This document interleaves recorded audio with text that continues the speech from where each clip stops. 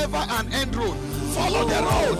It will lead you somewhere. So don't give up. Who is laughing at you? Your waiting time is not your wasting time. Tell them. Don't ever forget this. If you are not born again, you will suffer again. But if you are born again, get ready to reign again.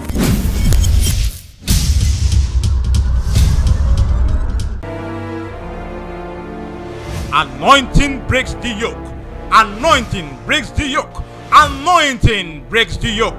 Come and be anointed to stop that evil carry over into the new year 2017 as you join Reverend Ben Eragbai, the Jesus Soldier, at Prayer City, Aja. Date Friday 30th December 2016. Time 7 a.m. prompt. Venue second floor Gate Street behind Nipco filling station beside Lagos Business School, Aja. Come and stop that evil reoccurrence in your life, family, business, marriage, or ministry. Join us. It's your season of divine restoration. Jesus is Lord. Matthew chapter 2, verse 1 to 2. Now, when Jesus was born in Bethlehem of Judea in the days of Herod, behold, there came wise men from the east to Jerusalem, saying, Where is he that is born, King of the Jews? For we have seen his star in the east and are come to worship him. The scripture we just read says, Now when Jesus was born in Bethlehem of Judea in the days of Herod, I, I want to look at God visiting mankind through Bethlehem and not through Jerusalem. Now, when where is Jerusalem? Jerusalem is the city of kings. Is a city of kings. So, but God decided to avoid the city of kings and went to Bethlehem. Where is Bethlehem? An unknown place, which you can call a village.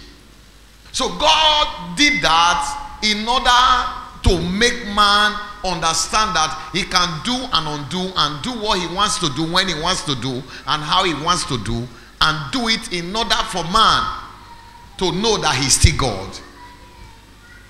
Now, Jerusalem, we said, is the city of the kings. But when God was ready to raise a king, not just a king, king of kings, he decided to bypass Jerusalem and he went into Judea. Why? To also surprise the enemy, to catch the enemy unaware. Please don't forget, the birth of Jesus was prophesied before Jesus arrived for more than a thousand years back.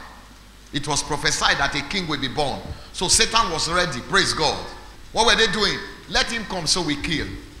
So when Jesus was not to be born, everyone's eye, even Satan's kingdom, will be expecting that Jesus will be born in the palace. God bypassed all and went to Bethlehem in Judea. And in Bethlehem in Judea, when Jesus was also born, you will realize that he was not born in the palace. In fact, the biggest places and the best places rejected him. The best places rejected him because we are told that there was no place in the inn. In the inn, for God's sake, ordinary inn, not even a five star hotel. Ordinary inn rejected the mother and the father. Now, if they had known that the king of glory was the one that the woman was carrying, I hope you know some people will leave their bedroom and say, Come and use my bedroom. You know, I, I don't have much time to talk about this because sometimes when people that are rejecting you now, if they know who you will be in future, many of them will start celebrating. Am I preaching this morning? They will start celebrating you. I've seen so many great men who were nobody. I've seen so many great women who were nobody. Many of them are up there now. But by the time they tell you their story, you'll be surprised. By the time they tell you how they slept on bare floor. By the time they tell you how they slept in a house, probably without window. By the time they tell you where they are coming from, when you compare the story to the glory, don't look alike. Are you sure you're hearing what I'm saying here? Sometimes in our lives, God allows to pass through season of story. You are here listening to me. I don't know what avenue you are hearing me from. You may be passing through your own season of story. But I want you to understand that every true glory must have a past story. So today, your story will come, become a past tense. Ladies and gentlemen, Jesus was born in Bethlehem of Judea. And when he was born, even Herod was not aware. Even the king, the incumbent king, was not aware. Everyone around that environment, they were not aware. Do you know why? Because they have expected him to be born long time. So everyone has given up. Some of you, you have given up on your dream. Don't give up because you will make it. Did you hear? I say, don't give up. Help me preach to three people by your side. Don't and give them his mind and say, don't, don't, don't, don't give up. Uh, don't, don't, don't, don't, don't, don't, even attempt to give up. Don't give up on it. Ladies and gentlemen, everyone probably may have given up. They gave up because, eh, and that's so then they talk. In the same way, people have given up on rapture now. People have given up on rapture. The church is no longer seeing rapture. The church is no longer on that great commission of evangelism. The church is no longer on great level of love for God. So everyone now serve God based on this is what I can do. The church no longer give because I love God. The church now give because if I give, God will give me back. So that love that propels people to give is gradually dying away. Why? Because people have waited so long. Praise God. If you check, rapture is part of the church. But how many still know that there will be rapture today? Oh, you don't tell when they talk. Um, the same thing happened here. Jesus was prophesied more than a thousand years before then that a king will be born. A king will be born. Everyone gave up. Everyone gave up. Nobody was expecting it. Because if the owner of the inn knew that it was Jesus that was being pregnant of, he would have not only surrendered the inn, he would have also surrendered his own bedroom. It would have been a history today.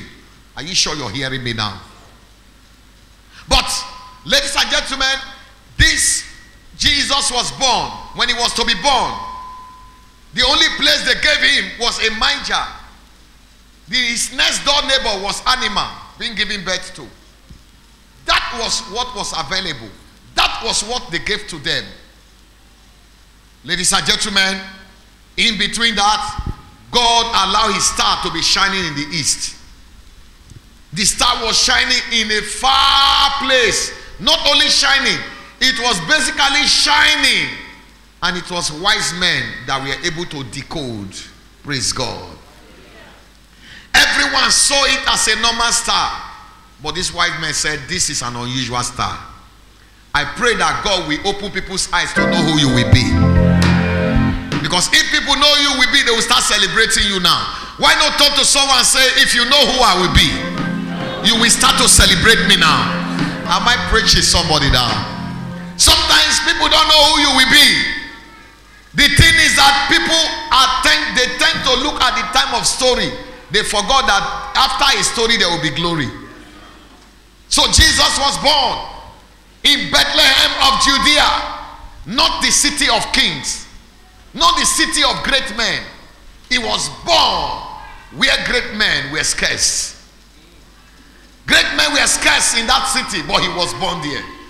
But the city, for the first time, took delivery of great men from the east because of the products that entered that place.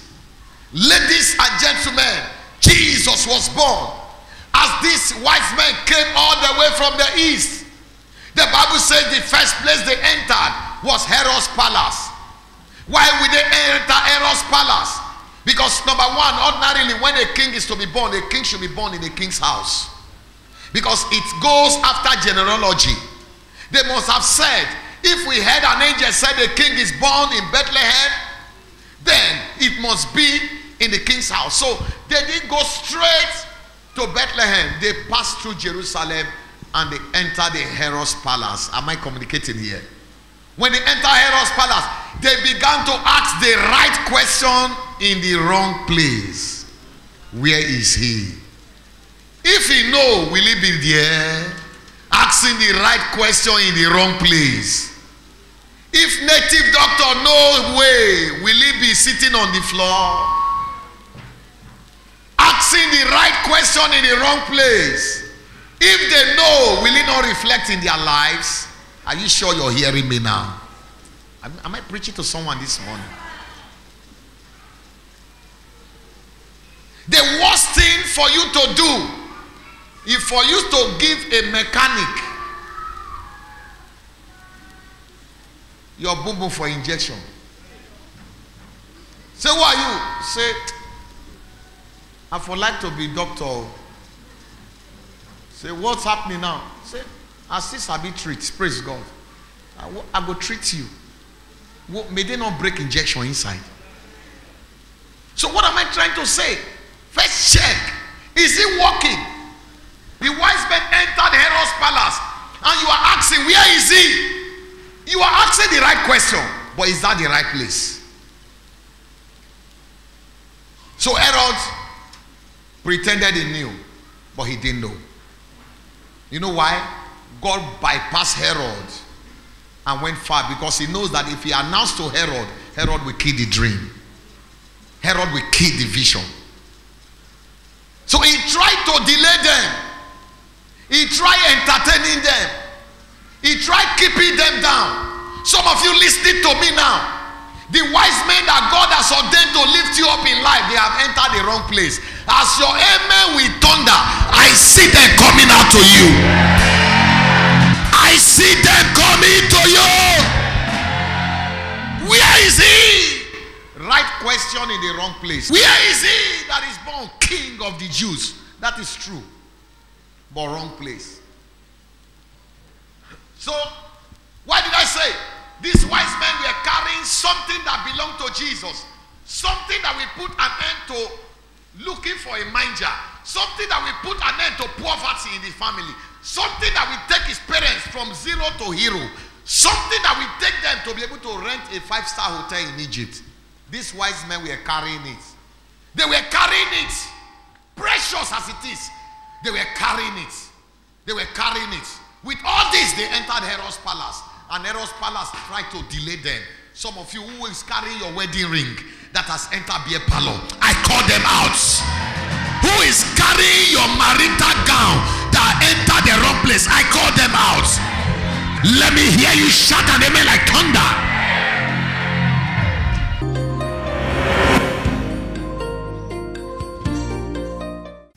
I want to specially invite you to join us in our crossover service. We call it Crossing Over to Take Over in 2017. So join me right here from 7 p.m. to 12:30. You know, vehicles are moving throughout that day. I want you to join us because no matter what it is, never you be elsewhere to enter a new year.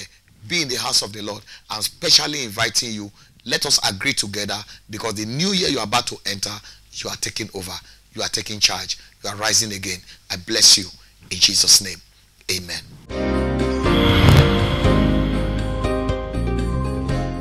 Ladies and gentlemen,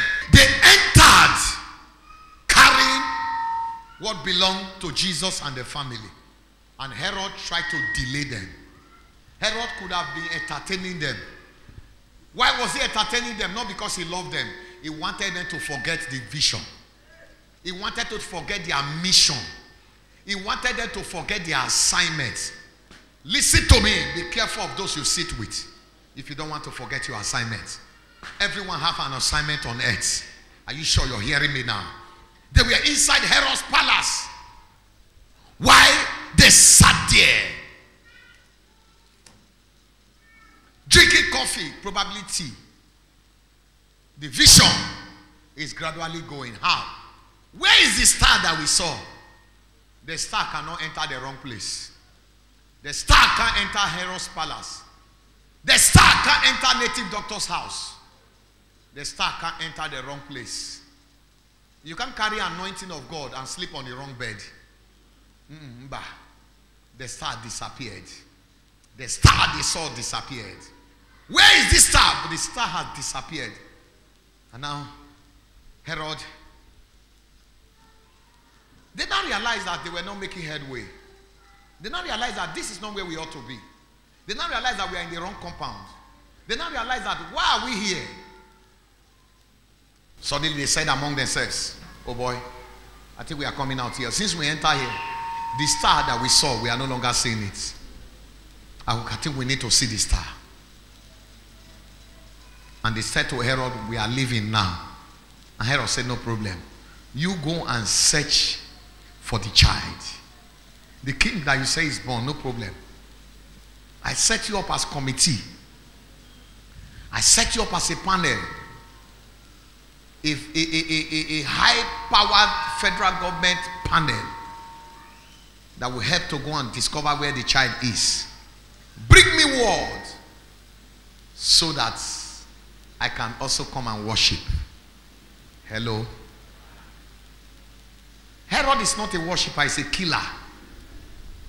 He was lying. He was not coming to worship the child. He was only saying, Show me your dream, make I kill him. Show me where your dream is. Show me your vision. Show me your mission. I want to kill him for you. But he didn't say that. He says that I may come and worship. Matthew 2, verse 8. He says, And he sent them to Bethlehem and said, Go and search diligently for the young child. When ye have found him, bring me word again that I may come and worship him also. He was not a worshiper.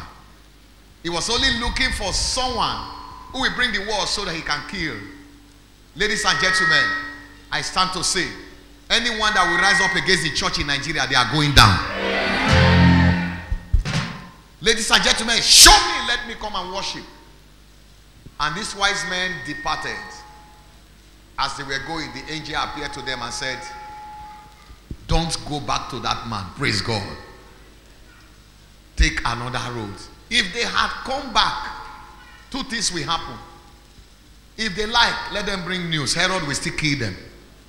If they don't bring news, Herod will kill them. Because Herod cannot stand to see another person lifting up his head. They say Herodic spirits that make people enter a compound, they cannot lift up their head. Since you park into that compound, you enter with a car, but you are not trekking. Can't you see something is wrong? There's Herod that is trying to collect your blessing, but that Herod will die. I can hear a better amen, Herod is going down.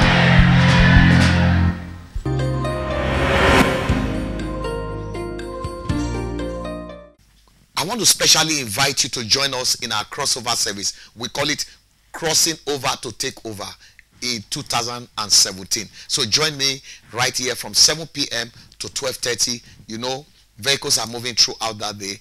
I want you to join us because no matter what it is, never you be elsewhere to enter a new year.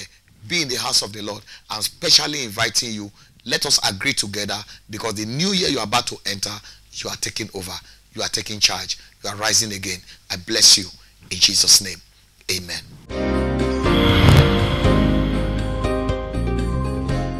Ladies and gentlemen, what did I notice here?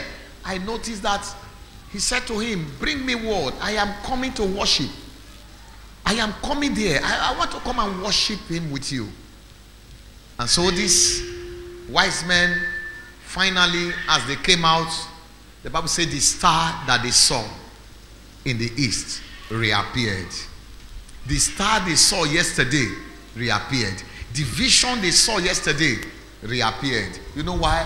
That star don't enter the wrong place. You have to first come out for you to see. You have to first break the relationship that is not. You have been in relationship for years and it's not making headway, and you want to see another one. You have to first break the first one. Are you sure you're hearing me now? I'm not talking about, of course, husband and wife. Husband and wife, you are meant for each other forever. I'm talking about the one that is not making headway. You just met a guy or a guy met you, or you met a lady, and you realize since that time you have been nosediving instead of going up. All your vision is gone, all your direction is gone. Bring me word, and I will come and worship. He was not a worshiper. When the wise men finally got there to Bethlehem, the star did not also reside in one of the best houses in the area. The star did not even go to boys' quarter either. The star passed boys' quarter, went back, back, back, back, and they finally rested where? in a manger where animal is born. For the first time, manger took delivery of what it has never taken delivery of. What? Gold, frankincense, and myrrh. Are you all with me here today? The manger took delivery of it. Gold, prosperity. Frankincense, favor. Myrrh, healing. Those three things is what Christ brought. But at a tender age, those things were given to him. What were those things? What were those things were meant to say, this is your assignment on earth. Are you all hearing me now?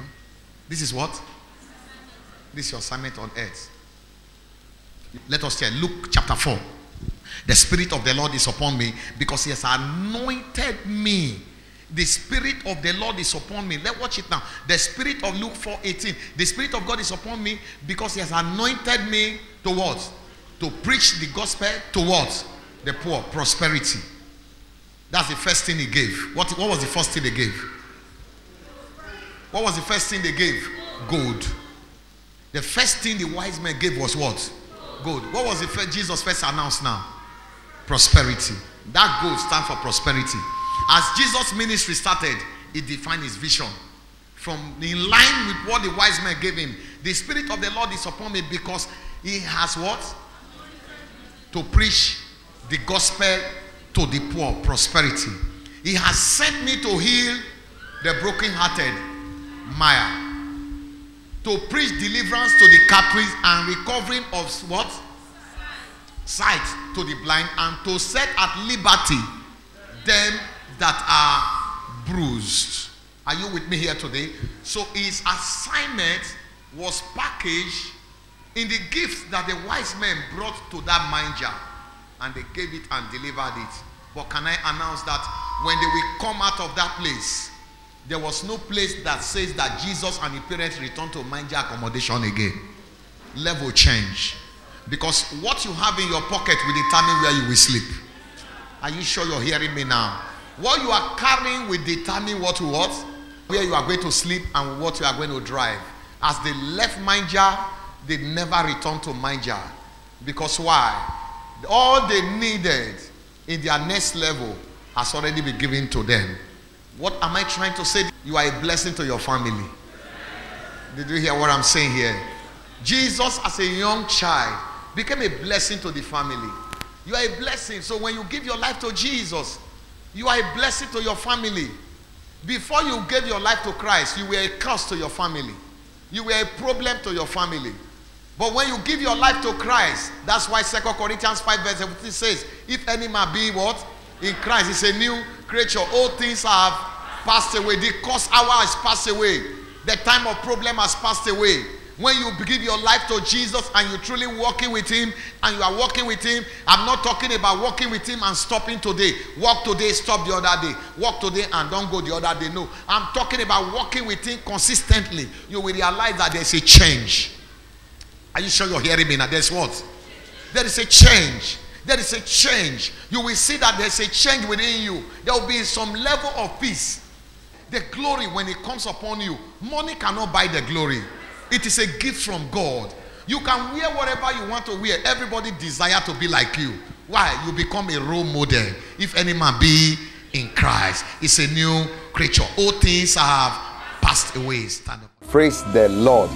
I want you to join us in this crossover service. I call it crossing over to take over with Jesus. Join me because in the beginning was the word and the word was with God and the word was God. So let us start the beginning together with God. So how you enter in a new year and where you enter matters a lot. So it's not time to be elsewhere. Join us here at Divine Appointment Ministry International, number 17 Oyewole Street. Join us, let us cross into the new year. Vehicles are moving around Lagos on that night. So immediately it's 12, we cannot close. Then you go home and celebrate with your family. Please don't stay at home. Join us here in Divine Appointment Ministry International because it's your year of appointment for high favor. Amen. Anointing breaks the yoke. Anointing breaks the yoke. Anointing breaks the yoke. Come and be anointed to stop that evil carry over into the new year 2017 as you join Reverend Ben Eragbai, the Jesus Soldier, at Prayer City, Aja. Date Friday 30th December 2016. Time 7 a.m. prompt. Venue second floor Gate Street behind Nipco filling station beside Lagos Business School, Aja. Come and stop that evil reoccurrence in your life, family, business, marriage, or ministry. Join us. It's your season of divine restoration. Jesus is Lord.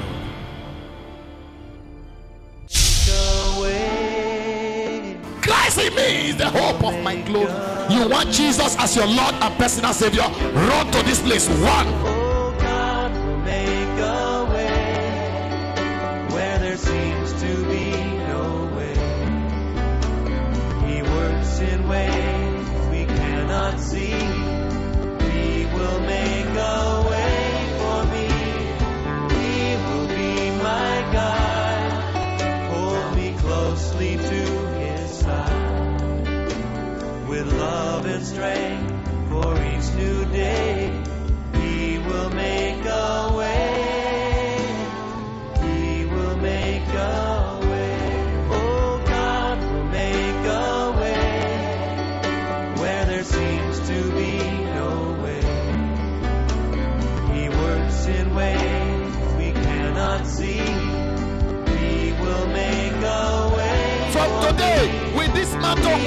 Declare war against satanic manipulations.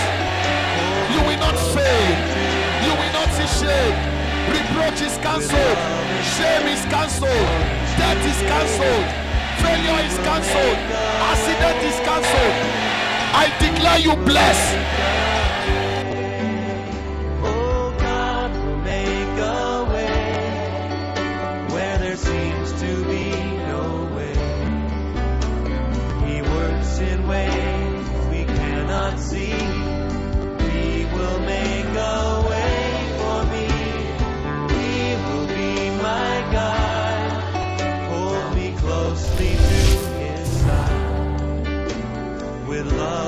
With